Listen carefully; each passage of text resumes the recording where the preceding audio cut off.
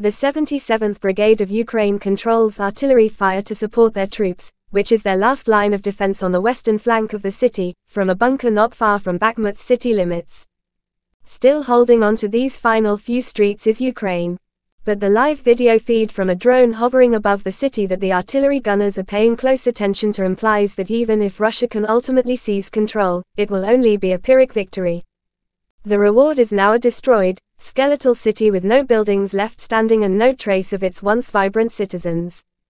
The longest and most brutal struggle of this conflict so far took place over the city of Bakhmut in eastern Ukraine.